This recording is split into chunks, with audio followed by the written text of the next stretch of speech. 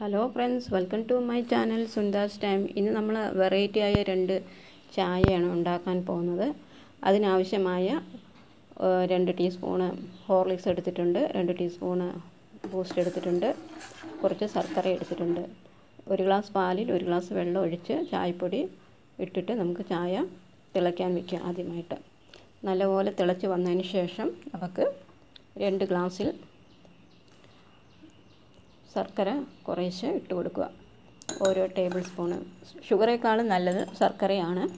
അതുകൊണ്ട് ഞാൻ വെല്ലമാണ് ഇവിടെ എടുത്തിരിക്കുന്നത്. ശർക്കരയാണ് എടുത്തിരിക്കുന്നത്. അതിലോരോ നിങ്ങൾക്ക് ആവശ്യമായ മധുരം അനുസരിച്ച് ശർക്കര ഓരോ ഗ്ലാസ്സിലും പകർന്നു കൊടുക്കുക. അതിനുശേഷം ഒരു ഗ്ലാസ്സിൽ ബൂസ്റ്റ് രണ്ട് ടീസ്പൂണ് ആഡ് ചെയ്ത് കൊടുക്കാം.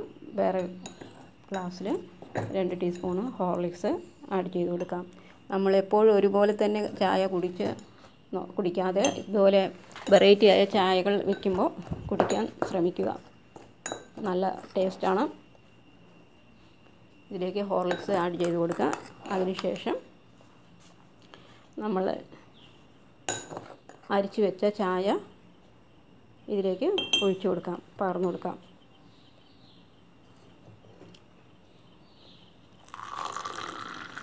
നല്ലപോലെ ആറ്റിയതിന് ശേഷം നമുക്ക് കുടിക്കാം.